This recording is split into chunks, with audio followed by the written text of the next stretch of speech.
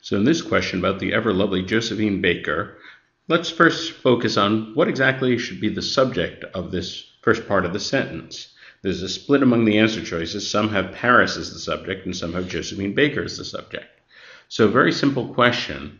What really is the topic of the sentence? What is the overall focus of the sentence? The overall sentence is not about Paris. Paris is just mentioned as a place where she lived. The overall sentence is about Josephine Baker herself. So really, Josephine Baker should be the subject of the sentence.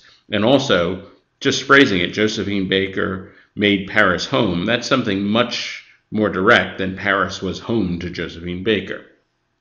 So we'll eliminate A, B, and E right away. Those, those are the ones that have Paris as the subject. That leaves us C and D, where Joseph, Josephine Baker herself is the subject. Now in C, we get this phrase in the middle, long before to be an expatriate was fashionable. This is an incredibly awkward and indirect phrase. It's actually a train wreck in terms of GMAT. So that whole choice is out. And right away, that just leaves us with answer choice D. Answer choice D is sleek, direct, has no grammatical mistakes, and it is by far the best answer choice.